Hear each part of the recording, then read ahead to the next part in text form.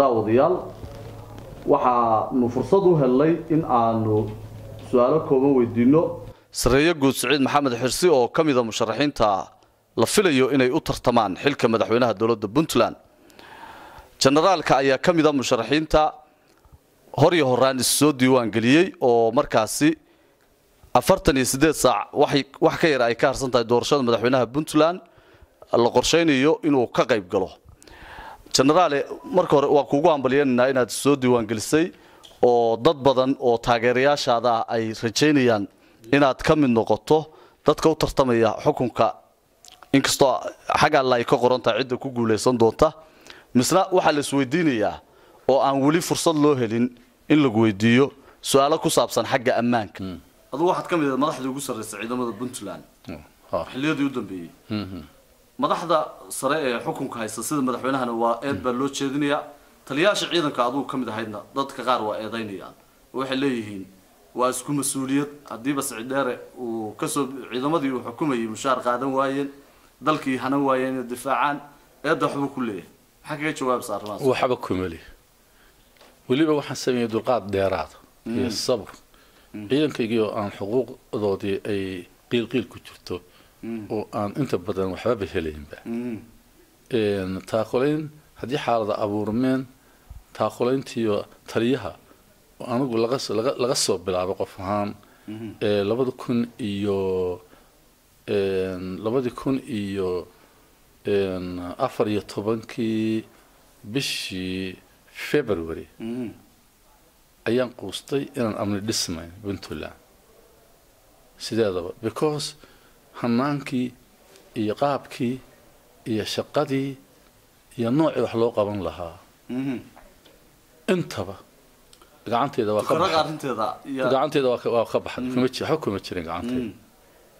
Sidii maamulkan hadda jira u bilowdayba laba bilood kadib ilaa saddex intii gudahooda wax shaqa ah oo inaan taliyo ahay keliya mooyaan aan hayay ma jirin shaqadiina waxaa hayay madaxweynaha ka xiriirayay iyo taliyaal colol baa ka xiriirayay waxaan u joogado qura markaan arkay arrinta in dalkayga inuu ii baahan yahay. Oo aanan marna baahida taladii oo dhan madaxweynaha isku fuuqsaday. Iyo dad gaara ula tashada marka in dadkayga yidhahdaan odagii muxuu idinka tegey. Maadaama anigu dabkan dadkii qaaday aan ugu horreeyey aan ka mid ahaa raggii ugu horreeyey aan ahaa. Dee dalkii inaan ka tago waan diiday. In badan waa waa damcay haddana waxaan arkay dee waxa kan adiga soomaha shalay ragga u qaaday. Dadka intaa kale nin walba waxaa la soo raacay meeshii waxbaa ka dhismay markii la maqlay baa la yidhi. Marka waxaana dee kosin waktigeeda hadhowd isagaa tegey isagaan saa odhan aan la odhan. Documentigii waayahay hadda gobolka sool oo kale caqabadaha ugu waaweyn baa ka jira oo dhinaca ammaanka loo xidhiiriyo puntland weliba tukaro qabsashadeeda ha u dambayso.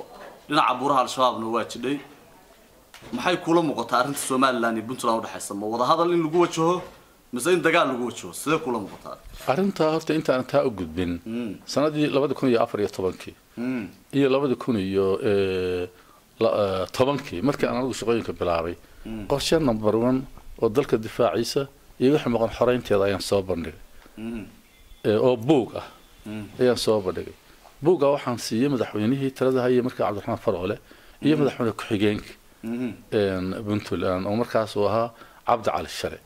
Uu ahaa jenaraal cabdi cali share. Arrintii iyadoo siduu u taagan lagama siin jawaab iyo qanac midna. Beentu waa shay xaaraana ma ogtahay.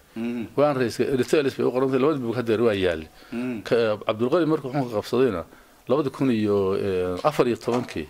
Cabdiweli saasoo kalean u soo bandhigay. Saasoo kalean u soo bandhigay buugkii waa details asaga waa haystaa madaxweynkana waa hay haystaa nuqulo kale kama bixin ciddii sir military waa istaraatiijiya ciddii sir military xijin kara oo dadka ah way arkayaan baarlamaanka kuwa sool dhashay qaarkood ayaan tus saysan hadhowdii aan xaan la isugula wareegaysan haddeer xamaa jira aniga isoo gadaayo loobinka anigu weli madaxda waxa kama sheegin dowladda loobin madaas socda ayay ka mid tahay markii loo yeer hadda ninkii lugaha ay qabsaday baa qaar maxaa lugaha ku qabsaday anigu dhugmantii qoran balaankayga two thousand fourteen waa yaalla two thousand elevenna waa yaalla taladii aan ku taliyey haddii la qaban waayo waxa dhacay. Hadday eedu tahay dadka maxaad u layn weyday oo riski u gelin weyday oo dagaalka isagaa horta waxyaalahaasa meelaha laga yidhaahda. Dadka maxaad u layn weyday oo riski u gelin weyday. Ilaa dagaalka qorshaa lagu gala iyo bilaan deegaan baa lagu norms baa jira dagaal lagu dagaalgalaa jira. Oo la rabo in la buuxiyo ilaa dowlad baan nahay moogta in la buuxiyo markaas ka bacdi lagu camal falo waa dhiibay midna marna lama jawaabin. Midnaba. Marka in hadda meelaha wax laga yidhaahdo nin ay nafu noqonaysa ma jirto. Dadkiina waa jooga dhogmantigii waa jooga xafiisyada yaalla. Dadka reer sool waa ogyihiin kuwa kale reer puntland waa ogyihiin ma laalaabto anigu marka waxaad leedahay bal xukunka ha lagu aamino sida wax noqdaa waa la arki doonaa. Markii aniga lagu waxaan isu sharaxay ugu weynba waxa la sheekaynaya aniga weligay intaan dagaal galay boqolaal way gaaraysaa hataa inay kumaan gaadho waa kun waa dhaafaysaan qorshii weligeena ma kubashay weligeena ma ku ebeebay laakiin qorshahayga ayaa lagu taxgelin jiray raacjay qorshaha markii la samaynayo dagaalka markii la diyaarinayo taliyaha iyo abaanduulkiisa ayaa soo diyaariyay. Dowladdu markay marka ay qorshe dagaal gelayso waxay u soo bandhigaysaa taliya ayay u soo bandhigaysaa markii taliyaha u soo bandhigto waxa la doonaya in la qabto. Taliyuhu dib buu u laabanaya abaanduulkiisu la tashanaya haddii wasaarad gaashaanka markaa joogto iyadana waa la tashanaya ka balaamkiisa taftiran buu la imanaya. Saddex arrimood la imanaya midkood. Waa ku fillahay howlgalkaas waa geli kara. Kuma fili ee waxa kan halaygu xoojiyo waxa hala keeno iyo ma geli karan isagaa farsamo u ah hawsha iyo saraakiishiisa qof walba farsamo yaqaan haddii nin walba dhakhtarka hadda ninka magaranaysa gaadiidka ah haddii dhakhtarka indhaha hadda laga dhigo dee dhakhtarkastoo inuu isha biyaha ka daadiya maa si fiican.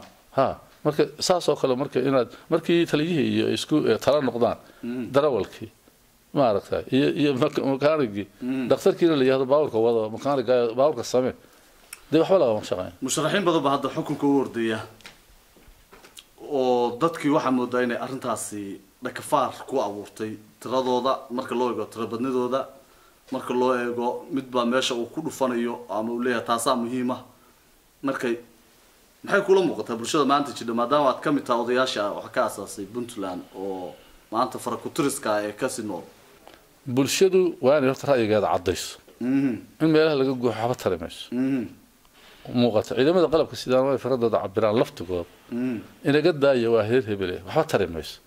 In la iska yidhaahdo ma ogta. Inay u toogahayaan xaaladda socotaa loo baahanya. Mustaqbalkana u toogahayaan.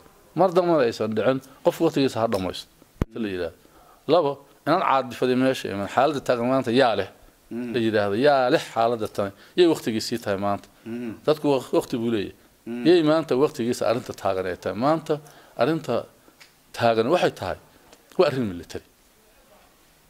Arrin military hogaamiye wadaniya military ah soo halgamay daljooga ayaa loo baahanya dadka kaleeto way ka qaybgeli karaan laakiin marka hore si in wax laga sameeyo dastuurka laga sameeyo oo qorshe laga dejiyo u baahan tahay. Maanta marka anigu ragga dhalinyarada oo yimi waxay arkeen. Meesha meel looga shaqo tegay inay tahay. Ayay arkeen. Dadkan faraha badan waxaa keenaya meel loo shaqo tegay inay tahayoo wax badan laga abuuri karayo dhaqaalo laga abuuri karo annaguna waxaan rabnaa meel laga abuuri karo nidaam iyo dowladnimo iyo kala damayn iyo amni iyo dadka iyo dadka in loo beeqaamiyo fahansan inay arrada ku nool yihiin weli waa dadku waa nool yihiin dad baa nool dadku jahayn bay rabaan kaliya haya waxay rabaan tilmaam bay rabaan waddada loo socdo in loo bayaamiyo bay rabaan oo loo loo sharaxo oo ay iyo waxa la higsanayo yoolka la in la gaaro maanta xaggaynu taaganay halkaasaan joognaa. Step by step tee qaadayna tee qaadayna tee qaadayna tee qaadayna. Xaggee aynu doonayna gaaro markaas ayay u baahan tahay. Dadkii dadka kama dhammaan waa jooga. Saraakiishii way joogaa. Keligay ma ahay. Hase yeeshee waan ugu halgan badnaa. Waan ugu dhibbad dhib badnaa. Waan ugu daljoog badnaa weli ma bixin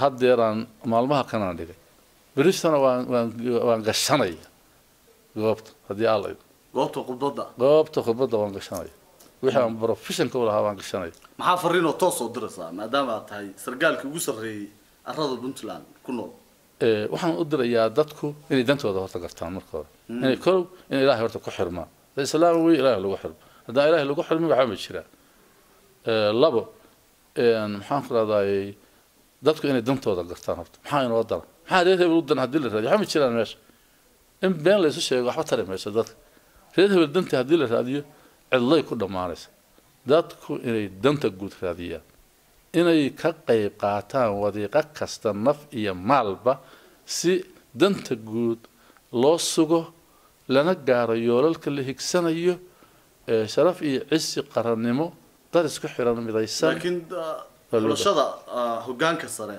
dadka kuma xirna sidaad ogtahayba waxay ku xiran tahay lixdan iyo lix baarlamaan ah waxaa moodaa dadkii ruuxoodu inay kuwaas u xaniban yihiin lixdan iyo lixdan sidee laga yeelaya lixdan iyo lixdaba lixdaas maanta iyaga horta ilaahay bay ku xiranta kabacdi iyagay ku xiran dadku soo doortay dadkii dadanka soo doortay waxaa la rabaa haddii gurigiisa ka fakarayo dan inuu u keeno ummaddana waxba u keenin ee la soo diray meesha dhaqaale looga wax looga raadi la yidhi dee nin dhaqaalo doona wey naftiisa u daran dal iyo dad midna waxuma gurigii talay leeyihi asagu taliya caqli buu leeyahy haddayse danta guud ku soo direen oo dalka danta guud dalka waa la yaqaan waxay tahay wax cad wey waxaan la oo cad qof walba arki kara wey.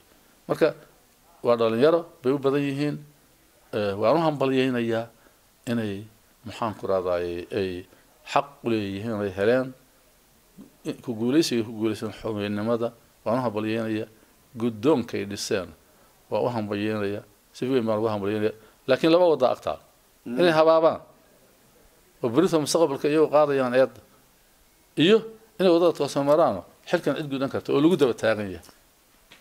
Waayo dadku way qaybsan yihiin ummaddu maxaan ku rahdaye cid walba shaqay leeda cid walba shaqadeeda xisaabtan iyo daqbal oo si transparent iyo muuqanta waa in laga shaqeeyo hadday habaabaan baarlamaanku qur-aan kuma soo degin hadday waa qaldami karaan laakiin berita waxay meelayntooda ay ku qaldameen iyaga raacaysa anigu waxaan rajeynayaa inay isbeddel la imaan hadeerba isbeddel ayaa yimi baarlamaanka dhexdiisa isbeddel baa yimi